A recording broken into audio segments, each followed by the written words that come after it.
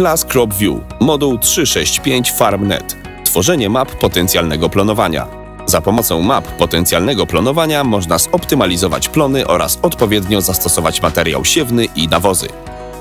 Pokażemy Ci, jak przy pomocy Class Crop View można utworzyć mapę potencjalnego planowania, jak z niej korzystać oraz jak dostosować ją do swoich potrzeb.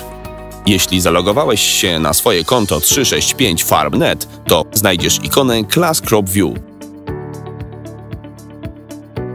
Zobrazowania satelitarne pomogą Ci mieć pod kontrolą wegetację na swoich polach.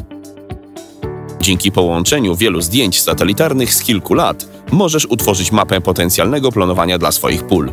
Dane z najbardziej odpowiednich zdjęć satelitarnych zostaną uśrednione, zmieniając w ten sposób wpływ takich czynników jak pogoda czy rodzaj roślin. Na podstawie tej analizy mapa potencjalnego planowania ukazuje długoterminowe względne różnice wegetacyjne. Wybrałeś lata i okres, dla których CropView ma wyszukać zdjęcia satelitarne? W celu uzyskania wiarygodnych danych zalecamy ograniczenie wyszukiwania do około 10 tygodni przed zbiorami.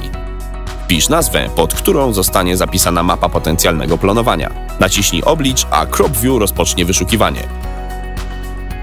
Program wyszuka teraz trzy najlepsze zdjęcia satelitarne w określonym okresie każdego wybranego roku i pokaże mapę z pięcioma strefami każdego z wybranych pól.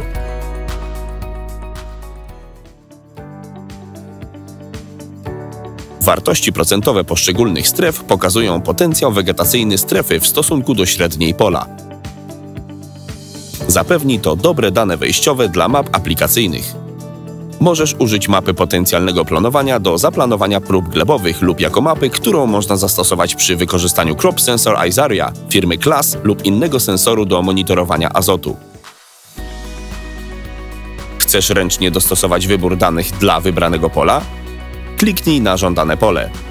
Wszystkie dostępne dane satelitarne dla tego pola ukażą się na liście, która pokazuje również, które zdjęcia zostały użyte automatycznie.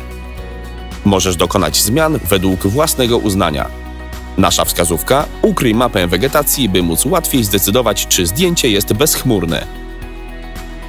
Po kliknięciu mapa potencjalnego planowania zostanie utworzona na nowo. Nie zapomnij o zapisaniu wyniku swojej pracy.